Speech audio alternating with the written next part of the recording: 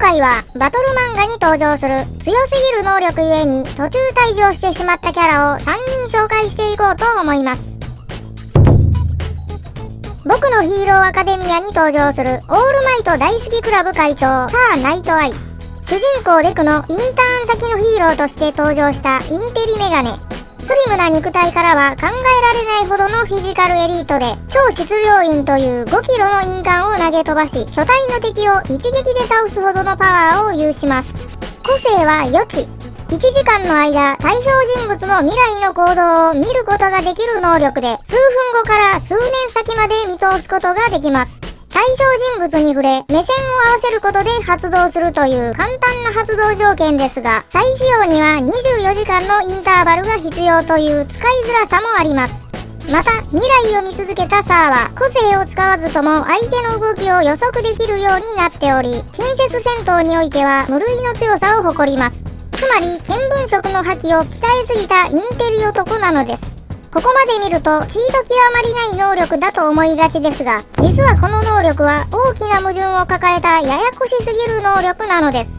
予知の的中率は100%で予知した未来は絶対に変えることができません。そのため仲間が退場する未来を見てしまえばその未来が必ずやってくるため不確定要素が多い場合は使用を躊躇することが多いようです。未来が変えられないのに予知する必要はあるのかという声もありますがデクたちが失態を犯した時に見ていれば防げたと発言していることから実は変えられる可能性もあります。しかし多くのプロヒーローから予知を使うように言われた時でさえかたくなに使おうとしなかったことから本当に変えられないのかもしれません。一方で情報収集においてはとんでもなく優秀で対象の行動を細かく把握することができるため常に先手を打つことが可能です。そしてなんやかんやあって死へ8歳会ヴィラン連合同盟と戦うことになります。その際サーは潔癖男オーバーホールに予知を発動しデクと自分が絶命しヒーローが乾杯するという未来を見てしまいます。つまりその時点で物語が終わることが決定したのです。しかしデクの謎パワーにより未来が変えられオーバーホールを倒すことに成功します。一方サーだけは致命傷を受けこの戦いで命を落とすという結果になります。言うなれば便利すぎる上にややこしすぎる能力のため物語の都合上仕方なく退場させられたということです。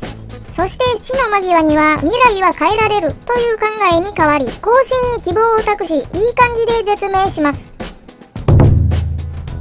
ジョジョの奇妙な冒険第4部に登場するドドリア・リスペクターヤングー刺激を主人公東方丈介とその相棒虹村奥安を慕う銭ゲバ中学生しげちとにかく金に汚く2人と出会った当初はゲロイカの匂いがプンプンするほどのゲス野郎でしたがあまりのふてぶてしさに2人からボコられ理解不能に陥った結果理解可能になり普通のゲス野郎になりますしかしそんなしげちーですが家族への思いは人一倍強く命に変えてもパパとママは守り抜くという熱すぎる男気を持っています。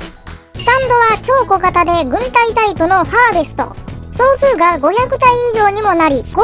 範囲も森王町全体を余裕でカバーできるほど桁外れの広さを誇ります。この能力でしげちは森王町中の小銭を収集し12万円も集めるという凄技を見せています。一体一体は小さいながらも群れをなすことでかなりの攻撃力になりその小ささから眼球や頸動脈など急所を狙うこともたやすく殺傷能力に関してはトップクラスであると思われます。また広すぎる射程範囲のため遠距離からの奇襲も容易で血管に毒物を注入するなど相手に気づかれることすらなく倒すことも可能です。さらに数が多すぎるため数体程度破壊されただけでは本体にほとんどダメージがいかないという無敵ぶり。まさしくチートというべきスタンドです。実際ジョウスケと奥安の大ヤンキー2人がかりでもかなわずジョウスケにハーベストに勝てるやつなんて考えられないと言わしめるほどの強さを誇ります。そんな最強のスタンド使いしげちーですがおてて大好きボマーことキラヨシカゲの秘密を知ったことで戦うことになりハーベストのチート性能からキラの頸動脈に迫りやっちまうという意志さえあればいつでも倒すことができる状態に追い詰めます。しかしあまりの異常さを放つ変態キラヨシカゲに毛をされとどめを刺すことができず逆にコッパみじんに爆発され絶命します。つまり戦闘や情報収集索敵などあらゆる面でチートレベルの性能を誇るハーベストはどんな敵が来ようといくらでも対処法があるため物語の都合上仕方なく退場させられたと言っても過言ではありません。ブリーチに登場するしおりを挟む男月島修九郎。黒崎いちごたち主人公メンバーの師匠的存在で数々の強敵を倒してきた最強の頼れる兄貴月島さん。ソウルソサイティ編では圧倒的な力で数々の隊長格をねじ伏せルキアを救出しアランカル編ではエスパーダ全員を一人で倒すという離れ技を見せ囚われた井上を救出する活躍を見せます。さらには最強の死神大前宗介を破り世界を救ったまさしく救世主というべき存在です。師匠としても一流で数々の重要な局面でイチゴたちを助け正しい方向へと導く存在としてその力を遺憾なく発揮しています。しかしそのあまりの完全無欠さゆえに妬みそねみの的になることが多く嫉妬に狂った白夜兄様の卑劣な裏切り攻撃により絶命してしまいます。しかしこれは月島さんの策略で絶命することで霊体となり最終決戦に備えるためだったのです。というのもラスボスユーハバッハとの戦いで弟子のイチゴがピンチになることを予期しており折られたイチゴの剣を元に戻すために前もってわざと犠牲になっていたのです。さらには心まで折れたイチゴを励まし戦意を取り戻させるという師匠の役割を果たし世界を救う一端を担っています。最終的には後手13体総隊長としてソウルソサイティを守る絶対的守護神になっています。